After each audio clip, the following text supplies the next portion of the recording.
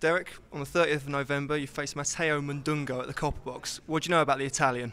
Uh, his name, that's all. But when I get home, I'll Google his Italian name and I'll find out more. Do you think it makes him a little bit more of a threat, the fact that you don't know anything about him? Yeah, big threat. But I'll find out more about him. And then in a couple of weeks' time, we'll be ready for him.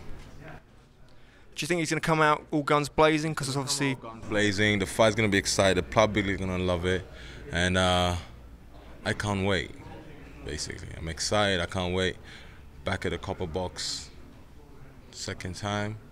And it'll be a third time. It's just, it's all leveling up. It's going to be amazing. Frank just mentioned if you came through this is a potential fight on the table with Kubrat Pulev in a IBF final eliminator for the heavyweight title and a shot of Vladimir Klitschko. Is that a fight you've been looking for? Yes, I'll, it's a fight I want to have.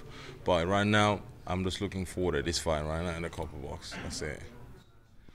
You making any different things in your preparations this time? No, no, no. The same thing, you know, uh, eat right, train hard, and enjoy life.